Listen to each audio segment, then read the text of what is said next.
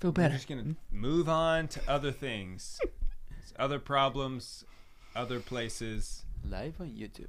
I got problems on my mother's side. got some problems. My father's side, everything's great. Live on Facebook. Where you been? What are you doing? It kind of reminds me of that song, like.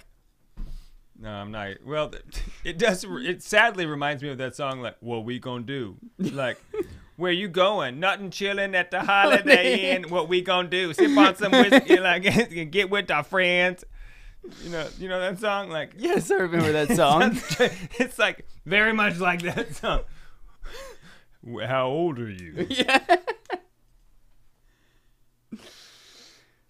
And apparently, like all of the all of the uh, priests in the temple were total chads. Warning. We the like the Catholic Man Show voice. contains high levels of manliness. It's simple, really. You either want to grow in virtue and holiness, or you want to be a sissy Are whiny we on baby. Facebook already? If you choose to move forward, grab your whiskey glass because the Catholic Man Show is said that on starting Facebook. right. He he Now. did say that. I did not hear that. He he did say that. Do not support that song.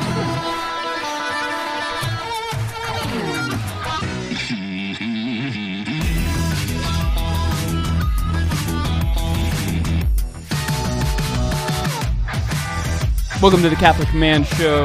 We're on the Lord's team, the winning side. So raise your glass. Adam Minihan here, sitting with David Niles. Our Seek episode. I was I just got an email today. Our Seek episode aired. So if you uh, Nice. haven't subscribed, you can go to uh, I think just look in your podcast player, Seek 2023. They're releasing Seek it out. They're going to be releasing a bunch of different podcasts. Juan, you want to hand me your whiskey glass? Uh, so that was exciting. That's exciting. Hey, guess what else we're going to be doing? Going on Catholic Answers Live Again. again. Yes, on December 16th That'll at be fun. 6 That'll p.m. be fun. It's nice having two of us because if they ask really hard, A hard question is questions, you can but, always yeah. punt. Well, I did the last one, so Yeah, let, I'm I'll gonna- let Adam take this one. Yes. Have they been through all the rounds of all the other Catholic speakers? Yes. Twice. I, more than that, because maybe it three times. Yeah, because Okay. it's been years since we've been on. But we're going to talk about practical tips. This is what you call scraping the bottom of the barrel. well, these guys technically are on Catholic radio, and they're so te- I- they are Catholic, Yeah. and they did They- write a we book. We are Catholic. Yeah. That that we are. hmm But like technically, like you know, we are on Catholic radio.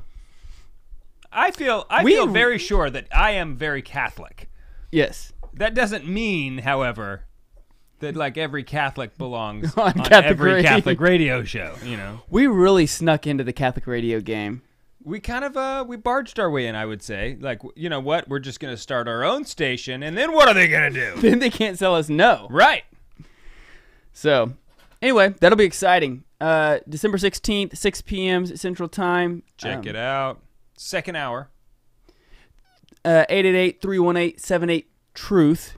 Can call in. Mm, that doesn't help anymore because the letters are not on the f- number pads. Oh, You know, like when you go to dial on your phone, it is on an iPhone.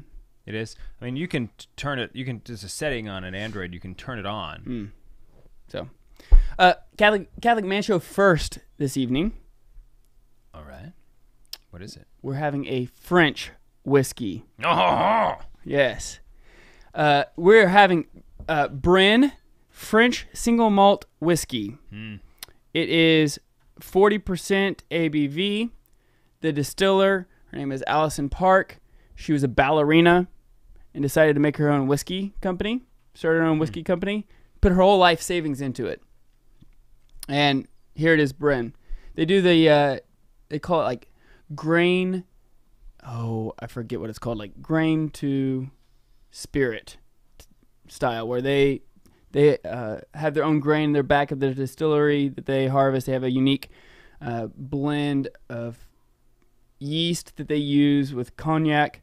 It's the, it's the first whiskey ever to be aged in virgin French bar- oak barrels and then um, cognac barrels. Okay. Six to eight year.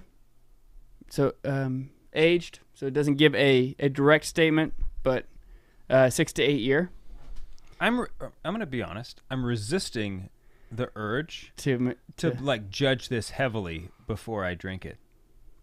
Mm-hmm. I don't know why I am like why I, I like Because is it? you know I'm I'm voicing the fact that I sense prejudice within me. Okay, That'd be interesting because we're actually going to talk a little bit about that tonight on the show.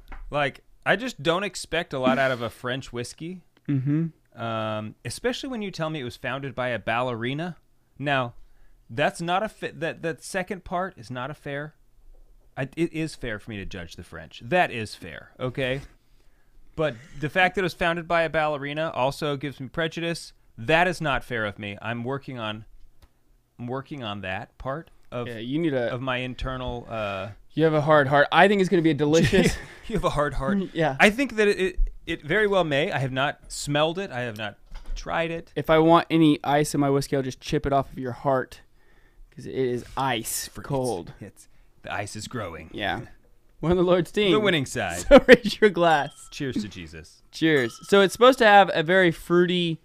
Uh, wow, I mean, you can. It smells very fruity. Yes. Very, very apple. apple crisp. Yeah. I apple tart. Uh, yeah, very green. It's like green apple, lemon, lime, even a little orange.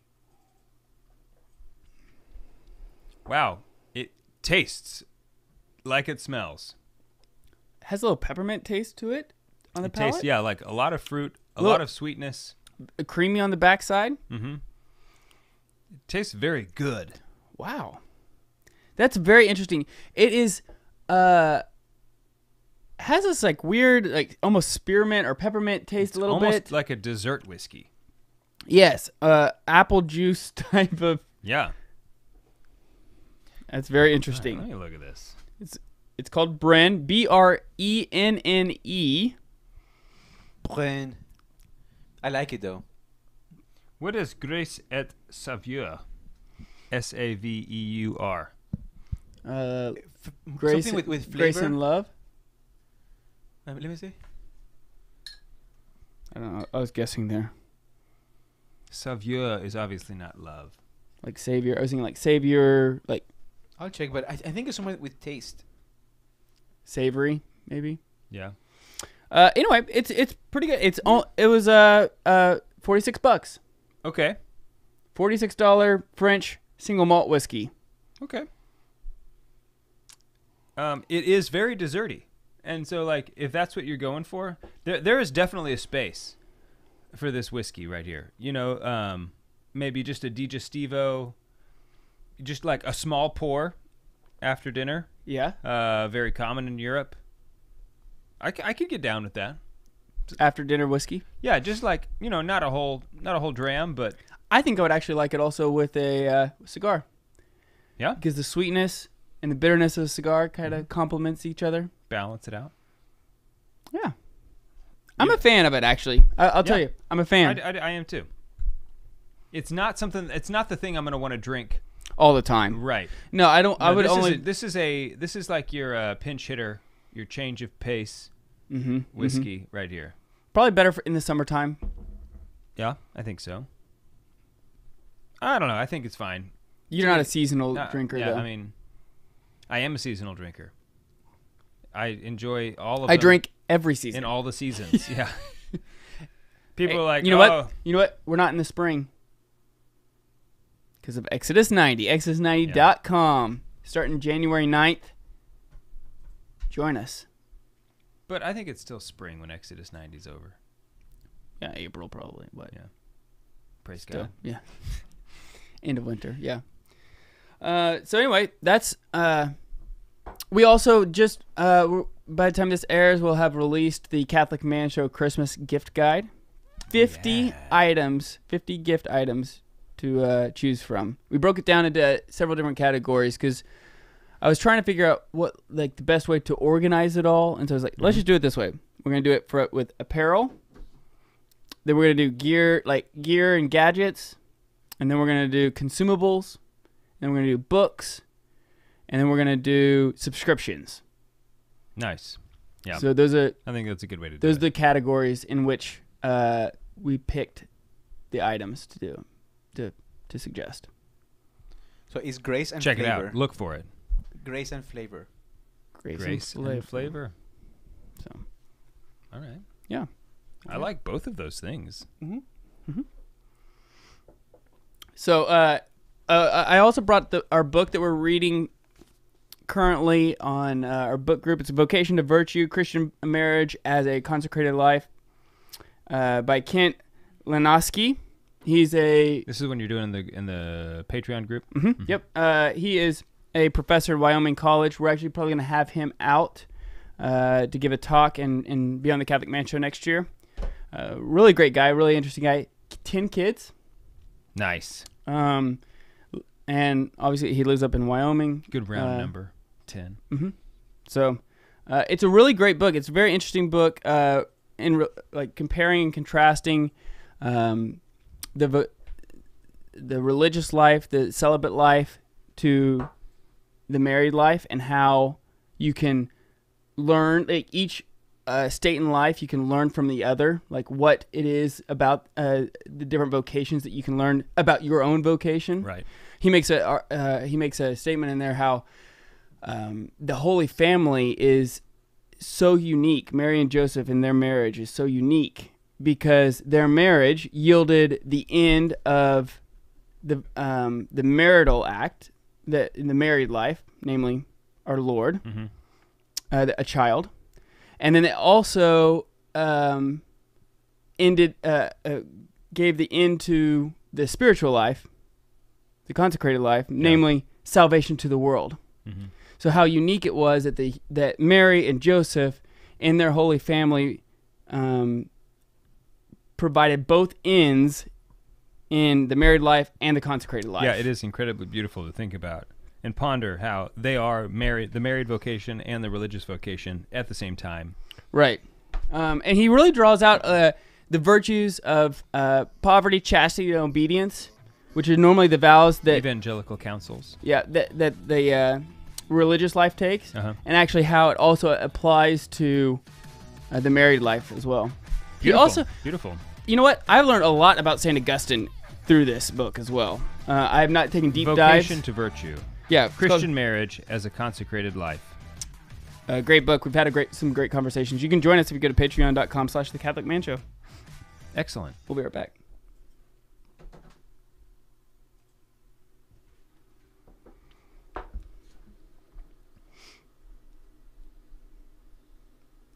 Dude, some of the things that he has said uh, about That sounds very interesting. I am interested in that.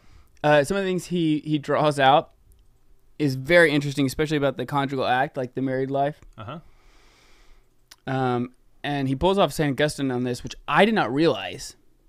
Um, but apparently, I have not read it, the primary text, Okay. nor the context. Right. Uh, but Augustine says that in the married life, as you grow in your moral and mature in your moral life within the context of marriage, Yeah. uh, you uh, cease to basically have the desire for the conjugal act. Hmm. I must not be getting anywhere.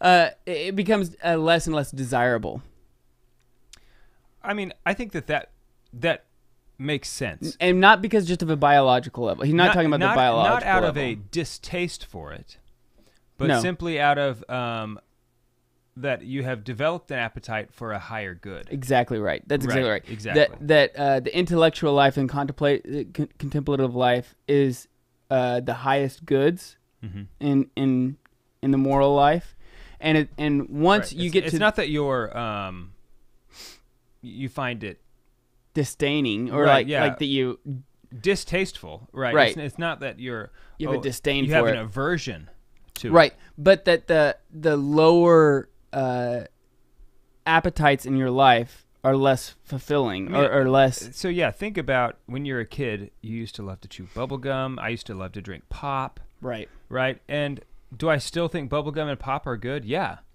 I just don't desire to do them because, well, I you know like instead of drinking pop, I might have a beer or I might have a whiskey or I might Mhm. have something else or you know like or water. Right. Uh, yeah. just because I've deve- my appetites have developed to Right. des- to desire these things that are I would think higher goods. Yeah. The carnal pleasures in life become less and less um, satisfying. Yeah.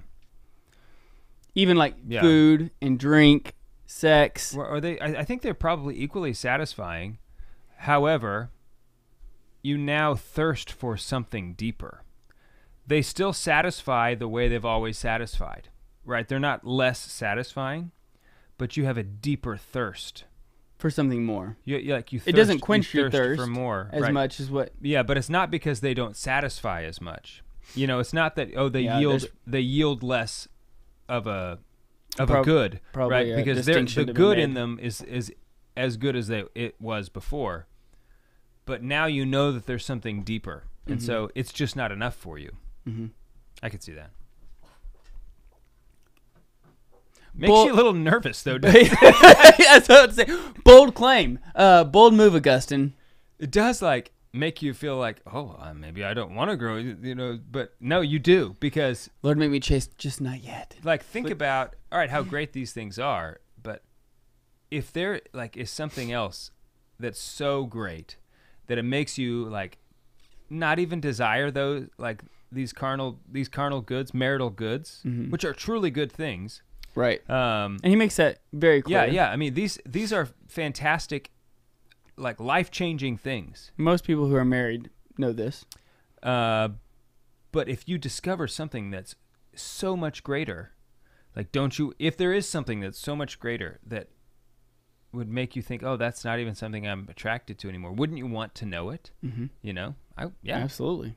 And then, but how much is that from his just his own journey and his own experience, right? Like his conversion from I'm sure a lot of it. his. Well, I think anytime I that think you he, write, I think that he uh, discovered it. Yeah.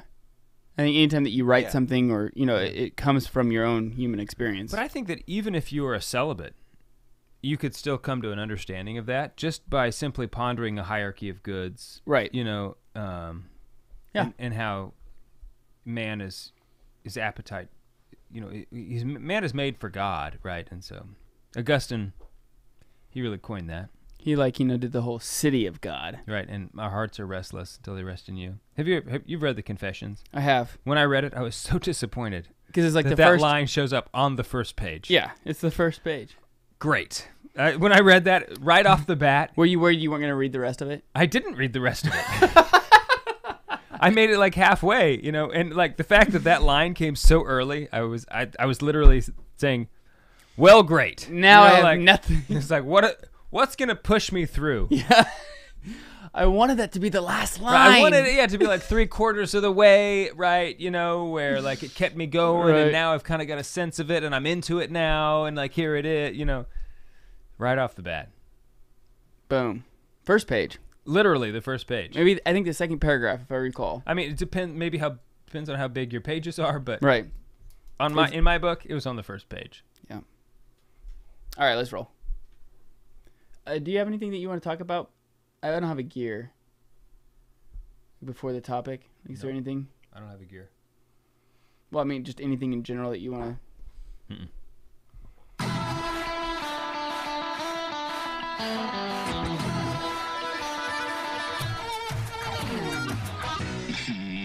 Welcome back to the Catholic Man Show. I'm David Niles here with Adam Minihan. We got Juan Posada in the his house. We're drinking a little French whiskey today. Bren. Bren. You don't say the E at the end? Juan, Mm-mm. do you say the E at the end? You don't say it? It's not. I looked it up. No. I looked it up. All right. Just feel like Brené would be a like more French sounding than Bren. You know. The Uh, co- the color on the label, the the light blue, Mhm. is uh in relationship to the color. It's the same color of the door at the distillery. interesting. It's also got the fleur de lis on here, which I like. right on the So- bottle. Check it out. Uh, it really is. It really is a unique whiskey. Mhm. I have not had a whiskey like this before, so uh, I was very honest about my prejudice in the beginning, and but I, I like it. Yeah. That's the thing about prejudice. You just have to be honest about it, and it it helps you Overcome. overcome. Right. There you go. It does taste like it was made by a, ba- a ballerina, though. It does taste like it was made by a ballerina. That is true. It is. It is definitely. I mean, it is a like feminine whiskey. There, there are a lot of feminine qualities about it. Um, that doesn't mean it's bad. Personally, I love feminine things. I have a lot of them at home. I have five women at home. Well, girls. I have one woman. What one? Some distinctions Four, need to be made little here. girls. Yeah. Right. But I love all of them, right? Right, I think yeah. they're just great. Yeah. But so anyway, but I, I did think it's a good whiskey. It's worth trying. If you find it, Mhm. buy it. I mean, you said it was only forty five bucks, so Yeah. you're not looking at, uh, you know, it's not a big not gonna break the bank. right. Want to give a shout out to Leo Thomas, my youngest son. Happy happy birthday! It's his birthday today. Happy birthday, Leo! Three years old. This is a crazy like Trinitarian birthday, big Uh, deal. the next. I don't know, like two weeks is pretty wild because it's Leo's birthday, then Jude's birthday, with Thanksgiving, Jude's birthday, Haley's birthday, and then Haley's birthday, and Molly's birthday, if you want to count that, which is our We don't- dog. We don't. Our long, one of our longest family traditions is actually forgetting the dog's birthday. That is a great family tradition, I think. Every year we forgot like Riley's birthday, or our old dog. You know who else forgets about the dog's birthday? The dog. The dog has no idea. Right. Yep. So celebrating an animal's birthday is just stupid. It is, all right? Like you cannot think of a way that it's not dumb. They don't care. They have no idea they why have giving. don't even they don't even know why they're like getting a new chew toy or something. All right? Like I get that you like the dog and you're happy the dog's in the family and I think that's great. But the dog doesn't need a birthday. Now, if you- party, now, birthday party. Now let me tell you this. If you want to bake a cake and eat it, you can do that for absolutely any reason in the world. dude. I just realized something. Huh. We have had a French whiskey, We have. I know. I remember the other one with the It's suit right of there. armor. Yeah. Chivalry. And the the other the other French As whiskey. I, I was listening, looking at you, and we have it. oh yeah, because earlier you back. said that uh, It's uh, our fir- Mancho- it's the it was first. not a first for the French whiskey. We had the chivalry, and I don't recommend that one. No. That one. You know what? That one is the reason why I had prejudice against, Against the this French whiskey because the other one was so lame. Yeah, that was bad. It had like, oh, you forgot to put flavor in here. You just forgot. you think you forgot to do something with this, right? right. Anyway, So uh, that's just how you know what. Hot take from Hot David take. Niles. Your your animals, very rare. Your This is dog's your dog's very rare. birthday is stupid. Okay. Okay. All right. Uh, so we're gonna talk about uh, Sh- Saint Charbel today. Yes. We're going to talk about uh, five messages from Saint Charbel. Uh, he gave some fantastic homilies. You can go and look those up. They're available online. He is the man of of Eastern rites. Yeah, so he's he's a Maronite. Yeah, so maybe some some background on Saint Charbel because he's not very well known. In fact, if you are uh, looking on a video right now There on he- YouTube, oh, he has there he is. there he is right there. Boom, Saint I Charbel. feel like a weatherman right now. right right behind us. Uh, but he became a monk at 20 uh, at 23, a priest at 31, and then a hermit by 46. That is I don't think that Pretty those. young. I don't. I don't think that those numbers are outstanding for their time for his time. a hermit by 46. I don't know. Most of the time, well, most of the time hermits were older because Forty six was old back then. oh, okay. You know, and like a lot of a lot of a lot And- of guys became monks when they were like fifteen. Back in the day, I mean, so you know, like These are the 1800s. yeah, you know. So he was bro- he was born in Lebanon, uh, and raised in a devout Catholic family, and was one of five children. Uh, born in 1828. Uh, he was known. If you look at even the picture behind us, like you see how he's looking down. yeah. Uh, almost all the pictures, in fact, I think all of the ones that I've seen, at least, uh, are have him looking down. Because some of his uh, Mug brothers said that no one really saw his face. because he was always looking down in humility, whether it be at mass, just walking around, even talking to anybody. He would Mhm. be looking. He would never even look somebody in the eyes. Okay. That people wouldn't see his face because he was just always looking at. He had the hood on, you know, for the most part, and so that people just didn't see his face very much. Sounds like he'd make a great hermit. Yes. Yeah. Um, after his death, there there were a lot of like crazy stories about his intercession, uh, m- uh, miracles Yeah. uh, that were happening around him. Uh, a fellow monk said he saw a light circling Saint, uh, Father Charbel's body uh, when he when he died on Christmas Eve in in front of, in front of the presence of the Holy Eucharist. That's where I want to die. Yeah, I know. Isn't that It'd be so sweet.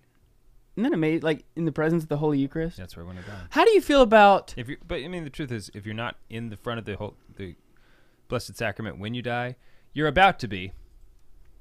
So, you know, How do you feel about having your body uh, after you die, having your body in front of the Blessed Sacrament before your funeral? I love it because I think it um, sends a statement and it uh, honors our Lord in the Blessed Sacrament. Um, I only love it if it is to honor the Lord in the Blessed Sacrament. Um, I think that you could also do that out of like pride or selfishness, like, oh well, I want my body to be in front of Jesus, right? Because it's I want all the stuff, you know, like. Okay. So I, I support all those sorts of things in as much as they glorify the Lord. If they don't, then I'm not in on 'em. I'm out. I think that's a good answer. I can't really combat that. can't really go against any of that. But yes, I mean, uh, you know, the the good deacon at our church, um, that was one of the requests. hmm it was the first time I'd ever seen or me, heard me about too. it. Oh, me too. And it was, um, I thought, a really beautiful thing. Uh, it. If I have the opportunity to do that, I don't know. Like, can anybody just request that? I'm I sure mean, you can request You it. can request it. I mean, yeah. I mean, just just throw it out there. Right. You know, like say, hey, I want it. And see what and happens. hopefully they do it. If they don't, you can still want it. And You like can the desire fact that, the fact that you desired it is probably good enough. You Right. know. Yeah. So, Interesting take. Mhm. I liked it. because it's not your fault. Right. Th- then it's on. th- then it's on the the person who's above you. And let's authority. also remember that you're not there anymore. Right. It's just your it's body. just your remains. hmm Yeah, that um, you are before the Lord. You know, like, you know, you're point receiving like either being- the last things now. Yeah. Judgment, heaven, heaven, hell, hell, purgatory. death, judgment, heaven, hell. Yeah. So um, it's a it's a really great it's a really great thing I think to honor honor our Lord in the Blessed Sacrament. Mhm. Um, people should It's even- consider it. Uh, it's even better if you're still alive. Yeah. So no, I think like spending your last hours in front of the Blessed Sacrament. That's that is very powerful. Mm-hmm. I'm you- not sure that like I don't think that you get any grace from having your body. And you know, like the, your remains in front of the Blessed Sacrament. I think No, that because you, get can't grace- have any more grace. Like you, you don't, you can't earn You- any more grace. Well, like Or you- merit you any more could, grace like, is get, better. I don't know if you're in purgatory, like you know, stuff that happens on Earth can affect you. I think I think the the best thing to do would be because there's gonna be other people there as well praying for your body, Yeah. or for for your For for, your for, for your soul, and so for your person. for your yeah so the people who are there praying uh, in front of the blessed sacrament with your body there you know before before your funeral that would be the most efficacious thing that could possibly take place i think Yeah. in that scenario I also want to set aside a retirement fund for the Gregorian masses to be said.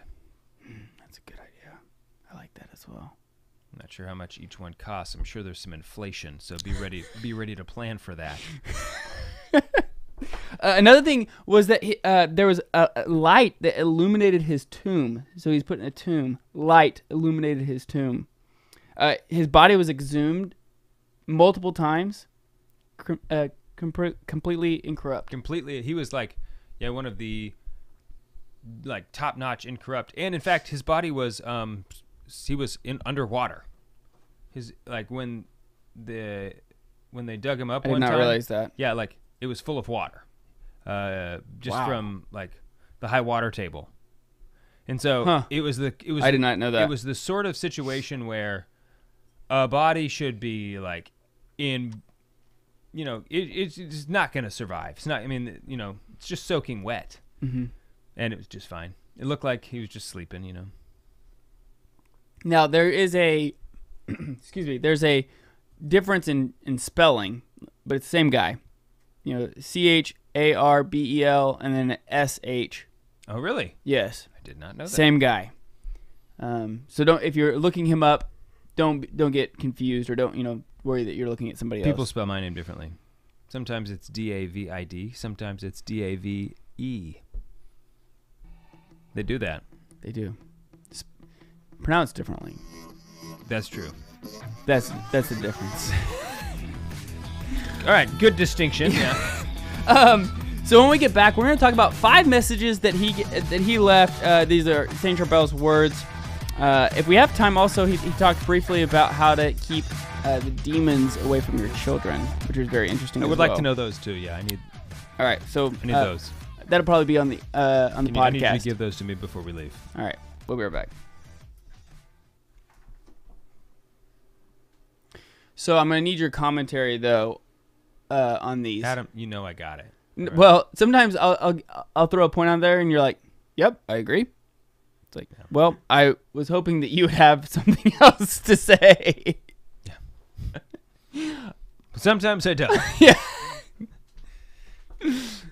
okay. 50-50. Yeah.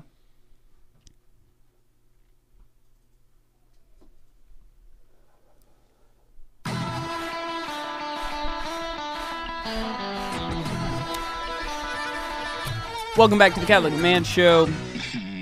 This week is probably the last week that you could join patreon.com slash the Catholic Man Show, become a patron, and receive the annual Catholic Man Show Christmas cookies. Oh, you better sign up.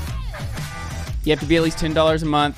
'cause we got- beautiful cookies. because we, because we also have to like, because we'll lose money for the first couple months. yeah, I don't know um, if I haven't seen the what the cookies will look like this year. I know. You have. Uh, Are, are we gonna have the truck with the Christmas tree in the No. back? No, new new designs. huh? New. Yes. That one was my favorite. I liked that one. We did that for several years. Uh, uh, we're probably still gonna have the Catholic Man Show logo cookie, Correct. if I had to guess. Correct. Other one's gonna be actually uh, St. Wait. Thomas, St. Thomas Aquinas. Oh, you just told everybody. All right. So Um, so much for the surprise. Merry Christmas, everybody. we also, hey guys, we uh, off air we need to talk about getting a Christmas card put together with our families. Juan, I, I put you in charge of this. Where's Jim? Yeah, well, he's he's gone. Okay, so we're going to talk about five messages from Saint Charbel. He is known for uh, some phenomenal homilies and writings, um, but he he's somebody pulled uh, on. Let's see, this is called. Uh, words of Saint Charbel, the Christ in the truth of love incarnate. If you Google that, you will find uh, this document that somebody put together that kind of breaks down some of the um, topics that he gave on, in different homilies and writings and letters, um, and kind of organized it into different topics and things like that. It's, it's a nice little. It's only twenty pages. It's a nice little uh, read. Nice.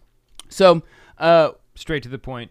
right, very uh, palatable, meat- very meat very heavy. practical. Yeah. Yeah. Um, so one thing he's talking, and so he's talking about uh, different messages in order to to to grow in holiness, right? In in order to to to grow in humility. Um, I mean, like, there is really nothing else that matters other than that. right. Growing in holiness is literally the only thing that matters. Uh, he he says, uh, and this is something I think I've heard either Saint Therese of Lisieux or somebody or maybe Avila um, say this, but he also kind of adopted this idea that the full thimble and the full pot are alike. If you are a pot or a thimble, the most important thing is that you are full. So always try to be full, whatever your size may be. In regards to you know obviously grace and, and holiness, like.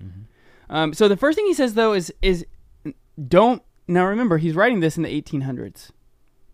Every Right. time stuff stuff like this happens, it makes it seem like, oh yeah, you wrote that about today. Like, Right. So he's writing With this. all the Facebook and the modern distractions, you know, it's like, Right. wh- how bad could it have possibly been in the 1800s? And that makes me think, how bad is it now? it might be way worse. Like I, I am just probably completely blind to how bad things really are. Mm-hmm. Makes me nervous.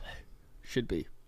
Luckily, if I am actually completely blind, You won't be culpable for it. right, like I feel like the Lord is gonna. Have some mercy. Yeah, he, I mean, he's got a lot of that, so Endless, infinite. I feel like he could, Yeah. you know. So the first thing he says is don't be distracted by outside things. He says the things around you, before you and behind you are less valuable than the things inside of you, mainly truth, mm-hmm. contemplation, goodness, be- the transcendentals. Wouldn't it be funny? This guy is a hermit. I don't know if he was writing this when, like, in the hermit phase of his life or not. But for to ask a hermit to list all of the stuff that I have in my life, like I'm gonna go to Saint Charbel and be like, "Hey, Sharb, bro, Sharp. I want you to list all of the stuff I have in my life, and I want you to put them in two columns. Is this an outside thing, or is this an inside thing? How many of the stuff that I have that I think are like, oh yeah, no, this is this is not an outside thing, Can I get a Venn diagram? right? Like how many, of, how many of my things, how much of my stuff, in like whatever it is in my life, those facets, how many of them fall into the not outside category? Because I feel like it's basic. All of them are. Yeah, so he says the truth always arises while the world collapses. Very apropos for right now, it feels like. But uh, he says the world never gives you, uh, get, never gives to you, but always puts you in debt. God alone gives. And then he says this is this is very interesting. He says you cannot lift people higher than you. You cannot you cannot go up and draw. Uh, you you can go up and then draw them up to you, Mhm. But you cannot lift them higher than you. Cannot give what you do not have. Right, exactly. I mean, that's just another We way of saying about that, that. a lot. I feel like we say that a lot. Uh, I think we do too, but um, it's just a different way of saying it, a different way to, to think which about is it. which is once again why pursuing holiness is the most important thing, right? And because if you are pursuing pursuing holiness, all other things will fall into place. Mhm. You know, um, seek first the kingdom of God, and all other things will be added unto you. Did if you I just had make to, that if up? I had to like summarize it, Did you just make that up? yeah, I mean, I'm just thinking like if I just was gonna spitballing here. summarize that concept, just in my own words, hmm that's how I would do it. Yeah. So, yeah, I agree. So he says also Christ rise, uh, raises you when he was lifted up on Mm. the cross. Yeah. hmm So you raise up your brothers. by going like doing doing it the way he did it. Mm-hmm. And then he said, and when you are raised, and then you will be raised through the power of Christ. So take up your cross and follow him daily. Yeah. But like that, not don't be distracted with outside things.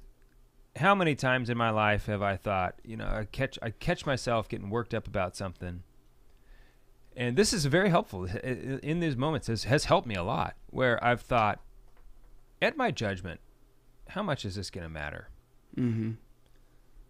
you know because once again it's like oh something a politician has said or done or something you know it's like what this other person a said yeah, or even a priest or something said Right, who yeah. said something and you're like yeah what? sure yeah even a priest um, or a friend you know like at my judgment that is not going to you know it doesn't even play into the equation mm-hmm.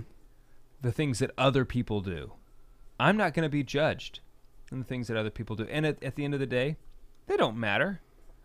Like I, I i i'm living my own life. I can only control my own self. Mm-hmm. and and so like when i when i get into those moods very often by god's grace i'm rem- i remember that. Mm-hmm. and it is very helpful. Like oh yeah these outside things they are distractions. And the devil absolutely uses them Mm-hmm.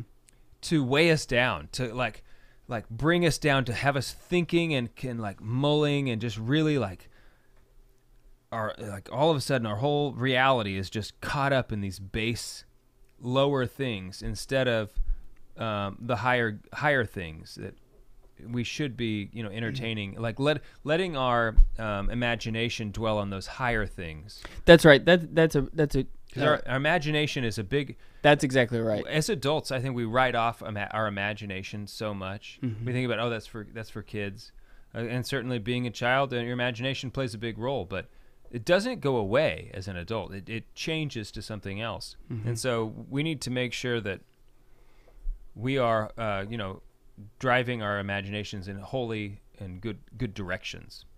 Yeah, I was talking to Jason Craig uh, a few days ago, and he's the guy who does uh, those. He has uh, Fraternus uh, and uh, those Catholic men. He has a magazine yeah. called Sword and Spade. Yeah. I was talking to him on the phone. I said, "Hey, man, I know that you're busy." And he stopped me. He said, "No, no, no. Please, Lord, don't make me busy.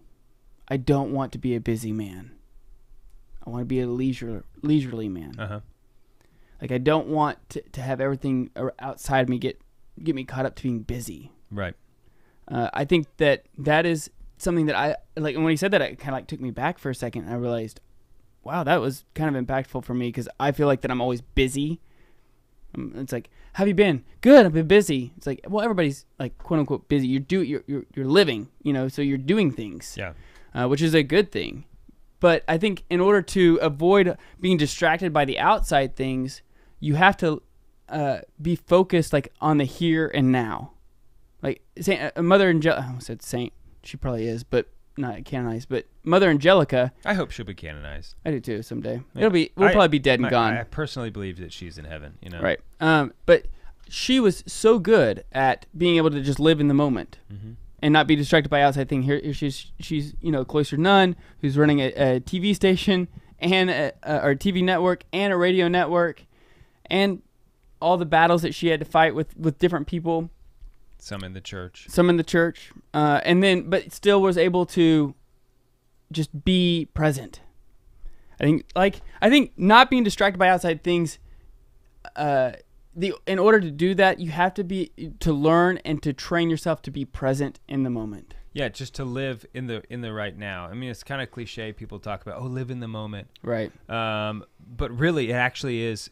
It's first of all, it's very challenging. It's very hard to do, to not be distracted about the future, right? Because there's a like you, we need to be prepared. We need to do some planning, right? Sure. Um, but but evangelization happens in the right here and now. This is why, like Saint John so Paul does virtue. Right. I mean, everything happens right now. Nothing happens tomorrow. Right. Um, so like, you just catch yourself like the those moments passing you by. Like with my kids, you know, you realize, oh, I was like so worried about this thing tomorrow, trying to get ready for it or whatever that I missed a really beautiful moment Right. here, and you can't get it back. That's right. Yeah. Um, so I'm really trying to, to change this theme of my mind frame that even though I have a lot of things going on, Mm-hmm. that I'm not uh, that I'm not like thinking of myself as busy. it takes trust in the Lord. You really, I mean, that's the that's the only way that I can uh, feel comfortable. Kind of, uh, you know, you just say, "Hey, these things I like." Going through that, we just moved right, and there was there's still there were a lot of things, that, and there were are still a lot of things. It's like I'm kind of worried about. You know, like how's this going to work out? What are we also had a newborn. We have a newborn baby. You know, we were traveling to Ireland, and like I really just had to say, like, Lord, I, I discerned this. I felt like you called me to it. I know that you're going to take care of it, and that's enough for me, Lord. Like, like I can rest in that. You still have to do the work. You still have to do the work, but I'm not going to worry about the things for tomorrow. Right. I'll do them when they come.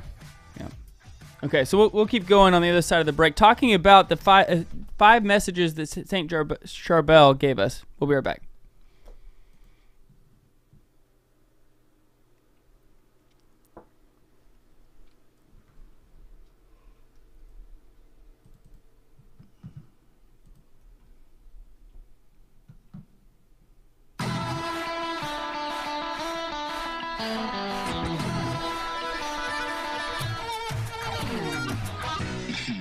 Welcome back to the Catholic Man Show. I'm David Niles here with Adam Minihan and Juan Posada. We're talking about some of the five things that St. Charbel gave us. He said a lot of things. These are five of them. Uh, the first one was don't be distracted with outside things. Next one is uh, do not sell your soul in markets of this world. Yeah, I don't know exactly what that means, but I, uh, yes, do not sell your soul in markets of this world or any other world. Don't sell your soul because it's a bad idea. Yeah, so it- I am on board with this no matter what it is he, he means by that. I think what he means by that is, uh, I think what he means by that is is putting things above honoring our Lord. You know, Yeah. striving for Don't for the kingdom of sacrifice God. moral God. principles in order to get ahead in life. Right. So he says he says your soul is very valuable. Whatever the value and pr- pros and cons that the world pays for to you, it remains cheap and lower compared to their true value. Do not sell your souls because the the world cannot pay repay you the price because the their price is the blood of Christ, fully paid on the cross. Right. Even if you were offered everything Right. in the entire universe, it would not be enough. It's not Right. worth. Your soul is infinitely more valuable because it, it's given an infinite value by God. You're made in His image. You are the only thing made in His image. There is nothing else in the world made in the image and likeness of the Creator. And so nothing else is worthy of you other than the Creator. Mm-hmm. Yeah, and so whether that be power, money, I mean whatever it is, Yeah, and the thing is, whatever it is, all of those things that you desire in this world, in this life, will be given to you uh, a hundredfold in the next, more than you could ever attain in this. You know, power, knowledge, wealth. I mean, like whatever wealth means. Um, wealth is really just a, another form of power, Mhm. right? Um, you'll be given, the, and ultimately, power comes down to freedom. You'll be given, you'll be given true freedom in the next, right? That that you have power so that you can, your will, you can exert your will as you as you see fit, right? right? Um, Right. a- a- but in the next world, that will be true infinitely, right? Right. I mean, eh, to the way, to the extent that you were made for it to be. Right. So, Yeah, I, I think that's just a, a good point to make because you have to have a- an ordered life, right? Mhm. Of course, you should be uh, striving to do the best you can in work and and you know in every all your extracurricular activities, but your your main vocation is you know either the married life or whatever your vocation Yeah, is it's holiness, but it- and it- and it, right. it takes different avenues. Now, the flip Right. side to this, like you kind of mentioned, is that we should still strive to be successful in this life. That um, we should strive to be like do do everything as well as we can. that's right. Yes. Well, No, when I say successful, I don't mean you should. We're not striving to be rich, Right. uh, but but you should strive. Although like- I mean that's why we started the radio station. I mean, that is what I'm trying to do. I Right. mean, I'm, I mean I'm not saying that's what other people do. I don't want everyone to try it because then it won't work for me. right. but um, I mean, let me tell you, because Catholic radio, that's where the money is. I don't know if you guys know this. But like you should be as good at your job as you can be. right. Not because you think it, not out of selfish reasons, but simply because like it's it's the right thing to do. Yes. You know, um, assuming that your job is um, involves moral activity. You're right. Like th- Mhm. there are some jobs, sales, for instance. You can try to rip somebody off. That's To make not the sale. that's not what I'm talking about. That doesn't make you good at your job because you rip Right. people off, right? So Right. You just have to know what I mean. Right. Uh, the next one I think is is uh, hard. Um, Okay. also, I feel like that you're gonna. I like how it starts with the word beware. I think I think this is gonna cut you a little deep. All right, I'm ready. All right. Beware. Do not condemn. Do not put on your uh, uh, in your mind preconceived ideas and judgments about anyone. Prejudices are colored lenses you put on your eyes, through which you see each person with the colored lens, and not with their true color of the person. And you didn't read it. It, ev- it says even the French. I cannot believe that. he said that. Even the French. Saint Charbel said, even the French. I Yeah. actually have nothing against the French. Uh, you know, except that, uh, yeah, like But how, how, how much better off would our church be if if we they make terrible whiskey. All right, that's it. except for this one. This one's not bad. Yeah. Uh, but how better off would our church be is if we all took into consideration the, the members of our church, we look at them in the best possible light Yeah, you know what? Um, it's a and give them the, the benefits of the doubt. And it's a like, huge phenomenon right now, and it's worldwide. The division. Mhm. I feel like the world is so divided. Uh, uh, like the political line, you know, like oh here's here's, my party, this is your party. you know, it, it was like we're not a, we're not Americans anymore. It's like, oh, I'm an American Republican, or I'm an American Democrat, or I'm an American, indep- you know, like whatever, fill in the blank. Um, the identity politics has really starting to take take root, and it's like I just feel like we have we're becoming more um, we're condemning people, you know, simply because they're different now more than ever, and maybe it's not more than ever, and it just feels like it, uh, but I think actually it is. I think Um, we actually are more divisive now than we were in the past. it's very hard though when you uh, you know it's hard it's hard to love your enemy right it's hard Yeah. it's hard to to will the good of somebody that is either um you know that is talking behind your back or that has said things that is incorrect that will not they won't repent for them or they won't like take that back or they won't do Sure. like they won't like it's hard when you find out that somebody that you you know and very well uh, is talking behind your back Yeah. you know and it's hard to uh not give them benefits of the doubt in fu- in future circumstances Yeah. It's also hard when you can hate bad ideas. Okay? Um, we can judge very harshly and should bad ideas. But in a world where, once again, we're playing identity politics, people now associate themselves with the idea. Like, oh, it's not just an idea that they have. No, they are that idea, right? Like, uh, no, I am this. That's my identity right like with a lifestyle that's that's who i am i am this lifestyle or i am this choice that i've made um it's like well no that's a no i reject and judge that. That's a bad choice. That's a bad idea. It's a bad action. It's a bad lifestyle. Not all ideas deserve respect. No they don't. Some of them some of them are are evil and and need to be condemned right. for the sake of the people who have made those choices or those lifestyles, right? Mm-hmm. Um, but it just is hard now because they're on the other side saying, "No, you're you're throwing those arrows at me, and you might not be wanting to, but like they're standing in the way of the arrows you're throwing at this idea or this life. It's just a challenging. Mm-hmm. it takes it takes incredible prudence you know to be able to speak when yeah, and you're right. But it also takes on the flip side, it's the other uh, the other side are the people pleasers. Mm-hmm. The people who like I don't care what it is. I just want I don't want to I don't want a confrontation. I, I want to avoid confrontation at all cost. Uh, and so whatever that you know whatever however we can achieve that end, I will just agree with so we can move on. Those are, those people are the lukewarm of ideas. Right. And so they need like the other side of that is that you need to have fortitude to stand up for what like what do you believe? Yeah, I agree. It's it, really is a challenge. We need charity more than ever. Um, we need the truth spoken in charity, which is like it's difficult because there's not a lot of people out there doing it for you to get like to get behind, to get good examples from. Right. Mm-hmm. Um, we we need people who are willing to like do that and and who have the grace and gift to do it. It is a gift, but those people need to do it so that the rest of us can see how it's done. Yeah.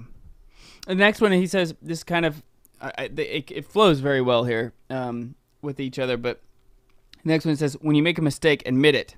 Profe- profess your misdeeds, confess it, and correct as much as you can. Acknowledge the error and correcting it make you makes you uh, great and and does not put you down. So correct what you can fix, and the rest when you confess it to God, and He will recover what you aren't able to fix, and the offset what you aren't able to restore. And this is something that Yeah, uh, is hard to do as well to do. because like when you realize and you you come to the like you you have the real realization that oh I've made a mistake, Mhm. uh, and it's hard to be able to say like oh I I I need to go admit it right now like in front like front of people or you know to to get this either sin or this mistake whatever it is out in the open. Uh, a lot of times like even in the business world when something went wrong or I made a mistake or something happened, the first thing I would do is when I call him is, is kind of have my hat in my hand and just say, "Hey, man, uh, I made a mistake. Here's the mistake," and then I always try my best in that process to make sure that I have some sort of a solution, so I have a, a- Right. an option. yeah prudently have a ha, try to have a resolution to your mistake but yeah you're right Uh, that's exactly what i was thinking about is the business world you know i've made mistakes with clients and there's this temptation to try to oh ignore it or pretend or downplay it as if like oh, it was like really the kind of the circumstances, whatever. Right. Sorry, we had a glitch, or you Right, know, or like miscommunication. somebody else told me something, you know, whatever. Um, because you think, oh, I can actually avoid all of the conflict here, you know, Right. and we'll just, Again, a we'll lack of move- fortitude. we'll move on, and you think that's the best um, resolution to this. No, it actually isn't. The best resolution is to once again, it kind of does take faith in God because sometimes you might think, if I go and admit that I can, it might be a mistake that you realize. Let's just say your client will have no idea; He'll, they'll never know.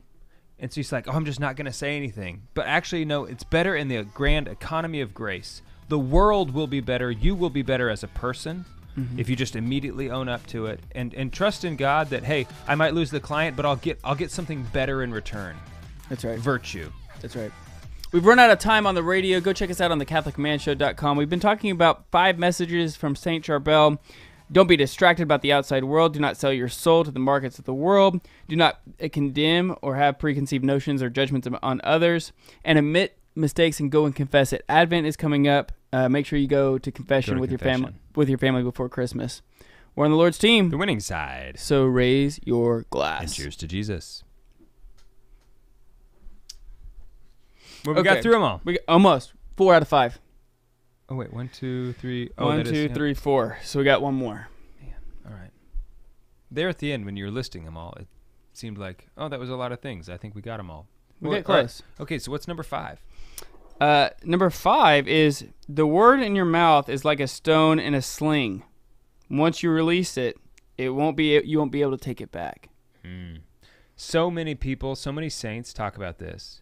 Um, and the Bible talks about it that you know that uh, a man's words is like the bit in a horse's mouth. You know that um, the whole body. If you control, if you can control your language, you can control the rest of your body. If you can control your tongue, you can control the rest of your body. That this is like something that y- you can guide and change a person just by changing their language. Mm-hmm. There, there's even a, Very a powerful. virtue about wanting to speak less. Well, I forget what the name of it was. Which is like holding you you you having the awareness of saying like I am speaking too much right now. I don't need to be saying this many words. Mm, that does sound familiar. Oh, I forget. I'll check it out. Uh, but but that has to do with self awareness, right? I think a lot of times uh, you have to be self you need to be self aware uh, and, and be able to take in. And, and this is harder for some people and easier for, for others, right? Is that you're in a si- situation Oh, but surrounding. it's very hard. It's very hard to not say something when you want to say it. Y- oh, yes, absolutely. You know, especially if it's a rock like he's talking about, hmm uh, because chances are, you know, you have reason to be angry or you have reason to defend yourself or whatever.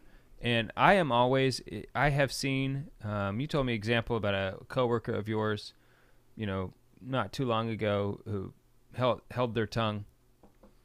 You know, like I'm always incredibly impressed in those moments where I see somebody not defend themselves when they've been unjustly accused of something minor or big. You know, like it, it it doesn't necessarily make it easier when you're accused of doing something that's small versus something that's big. Like if you're if if I get accused of it's like no, I didn't do that.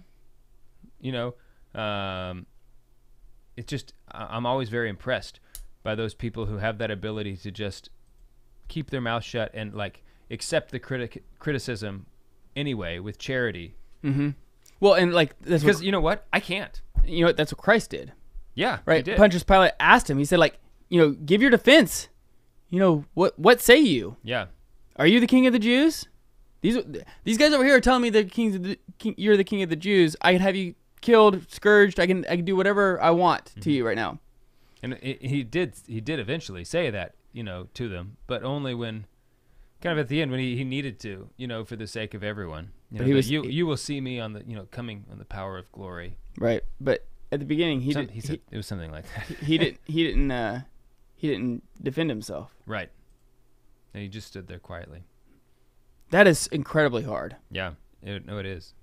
I say I can't do it. I, I can't, I'm capable of it with God's grace, but I just really struggle. Right. Because it's like it's an injustice on me. Right. the, the litany of humility is is a prayer that uh, continually. And it's another one of those things that you need great prudence to really discern the situation. Because sometimes, in charity for the person who's maybe accusing you, Mm-hmm. you need to tell them, you know, like, you know, for th- for their sake, you know, just so that you don't accidentally, you know, like you don't carry on accusing me of something I didn't do. Mm-hmm. You know, like because think about how terrible they would feel later if you let them keep going. You know, and then they might say like, "Why didn't you tell me? You just let me keep going and like carry on as if you ha- you were guilty of that and you weren't the whole time. All you had to do is tell me, you know." So like there are situations where you need to it just takes great prudence um, and Yeah. and wisdom. I mean, it's like Mm-hmm. the wisdom to know the difference between those situations. Mm-hmm. But you know, at the end of the day, if you if you like go through those situations with good intentions, the Lord will reward your will reward that, um, even if you don't choose well all the time. Yeah, and this is the this is the importance of, of growing in virtue, right? Is because Yeah. the more you grow in in in specific virtues, the more you uh, become more accord in accord with reality. The more you, you grow in all your all virtues, and you're able to see reality Right, yeah. as it is, Uh-huh. as it truly is. And so, the more you grow in virtues that are maybe even easier for you, so to speak, the easier it is going to be to continue growing in virtues in all in all the virtues. The way I think to discern that line is by you have to just remove yourself from the situation. So you need to develop a distrust of self, Mm-hmm. right? hard to do also because emotions are, are, are always involved. If you're if you're a high emotional person, Mhm. this is even going to be harder Yeah. for you. Oh, yeah, big time. But if you do distrust yourself, where you know, like, oh, someone comes and accuses you of something, and your first thought is, "Wow, maybe I did that, and I didn't even realize," Mhm. you know, because I, I, I Yeah. Um, then it allows you to, because you're out of the equation, you can now more easily Mhm. discern. Do I need to be charitable to this person? I'm going to be charitable to this person. Is that charity going to come in the form of my silence, or in my like rescuing them from continuing down a bad path? Right? Because I'm not in this equation anymore, even though I'm the one being accused. Like, I'm just going to be charitable to them Mm-hmm. what's that going to look like the more you are involved like the more you bring drag yourself and your own pride and ego into it just the cloudier it's going to get Yeah, and this is the importance also of having friends you can trust. Right? Sure. If you if you're going to like there's been many of times where I have played out the situation in my head and I've thought I'm removing myself from this situation. Uh, you, you know, I'm going to play this out. How should I respond? How should I do this? And I, I come to the conclusion, and then I come to you, uh, and I say like, here's the situation. Here's how I'm going to respond. What say you? mm-hmm. And then you would then inevitably there have been times where you've come up and been like, "No, you should respond this way." And I'll be and, and like I'll listen to you and then I'll be like, "Man, I spent a long time discerning this." Mm-hmm. And I thought that this is the this Sure. was the right way to go. yeah i've done that too And uh I was so blinded by this uh, by this I didn't even I was not even aware I was blind by it and because I had somebody who you know I had a friend that was willing to say what what he thought regardless of what I wanted to hear. well adam also very possible that i was that i was wrong well, no, I mean, but it sheds no, it sheds more light on the situation sure yeah it in a different Certainly perspective. when you can when you can get good opinions right? from people Yeah, you, you totally trust, you totally you ruined my life. Uh, I no, I put all my money in Bitcoin at Right. seven seventy thousand dollars. you told me it was going to 250 Yeah. like the people on television said Um. Anyway, there's uh. Do you want to? Do you want to? How far along are we, One. We're We four more minutes. okay. So I let- mean, do we make the other ones a new episode, like their own episode? Are they are they enough for an episode? I wasn't gonna make it another episode. Okay, because you know if it's another five things, we could probably make it another episode. Well, it is a few. Yeah. Why don't we just do that? Okay. Why don't we tease the first one? And then and then we'll pick up Yeah, and then we can do it again when we do the episode. And some of these. Some of this is uh. in, like very self-explanatory. You know, some like okay. common sense. But Yeah. but uh, sometimes you, we need to We can to talk about the why behind it, though. Uh, yeah, so he says the the first thing. This is now how to guard your family and to keep uh, them from the schemes of the evil one uh, through the presence of God in them. Can I guess at one of them? Sure. Is one of them remain yourself in a state of grace? Because I, I believe that if you want to protect your family, especially as the father, if you are not remaining in a state of grace, then your ability to to stand in the way, to stand in the breach, so to speak, Mhm. between the evil one and your family is gone. If you are not in a state of grace, you have no ability to provide spiritual protection. Uh, it's not directly, but Uh-huh. but indirectly, yes. I mean, the, the, so but you're exactly right. Like the the moral life, like to grow and mature in the moral life, means that we have you have to uh, uh, present yourself in all avenues possible to receive grace. Mm-hmm. And when you fall in in and sever yourself from the, the your relationship and friendship with God through mortal sin, you need to immediately go rectify it as soon as possible. Confess your sins through through confession. Sure. Um, and as as often as as you fall into mortal sin is as often as you should go to confession. Right? It's at least as often as Yeah. you should go to confession. Right. I mean, we should all we should all be going. You know, th- there's this weird stigma. I was talking to actually Bishop Conroy about this uh, today because we were, we were going through talking about different things we're going to talk about on on my other super famous, Super famous podcast. Catholic yeah, podcast. Yeah. yeah, Tulsa Tulsa time with Bishop David I hear that's the one you're getting rich on, and I'm super upset about it. I am banking, bro. Yeah. Um, but we were talking about I'm upset. this this stigma, the the kind of other side of the Advent penitential rite and the Lent penitential rite that Yeah. we have. Uh-huh. It it's a good thing, but it also sometimes says tells the people who maybe not be not are not practicing their Catholic faith or maybe kind of just going through the motions. that You only need to go to confession twice a year. Right. Yeah. This is a check, a, a box checking Like- event. Like, make Right. sure you do this. You know, and like this is just not the case. Like, Or even that like that. there's not a re- that you don't need to still go to confession again in Lent or again in Advent. right. You know, that, that the church requires you by canon law to go twice a year. only if you need to. Uh, only if you, yeah, only if you. Ooh, I, I no, don't know. No, it's it's only once a year, and only if you need you you're confi- required to confess your mortal sins at least once a year. Hmm. Now, if you don't You know have what? if I- you don't have mortal sin, then the, you are not required to go to confession by canon law. Okay, I will uh, retract that statement. Then Yeah, that was my understanding, but maybe it's that's a, not it's the a- case. It is a, a nuance of the of the law, but it is commonly portrayed as you're required to go. Like people often say that. hmm You're actually not required to go. You're required to f- confess all mortal sin at least once a year by canon law. You know what? I made a mistake, and I am admitting it and confessing it. That's I just am bec- so it's just sorry. like your holiness on display. It's Look a. Adam. It's a you're Wasn't you know what? You're actually glowing. uh, but but I think we should uh, get in the habit of going to confession at least once a month.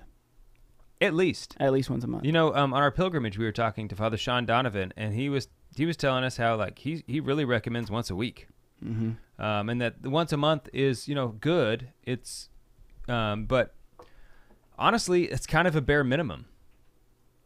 You know, the whole once a month thing. I think we just got to look at ourselves in the mirror and say, like, do we want to grow in holiness? That's exactly right. Do you want to be holy or not? right. Okay, because if you do, it's it's not going to happen on accident. Right. You're not going to get there, um, like you're not going to like kind of stumble into it. Right. Okay, it's going to be hard. Holiness, holiness is not for the weak. Right. Christ is the king of the world, but he is not a fascist dictator, and he will not force you. Right. He has set the laws for you to follow Mm-hmm. and abide as the king of the universe, and you can choose to uh, abide by them or not Right. abide by them. And I say holiness is not for the weak. That's a height. It's that's an analogy. Obviously, it's we're all weak.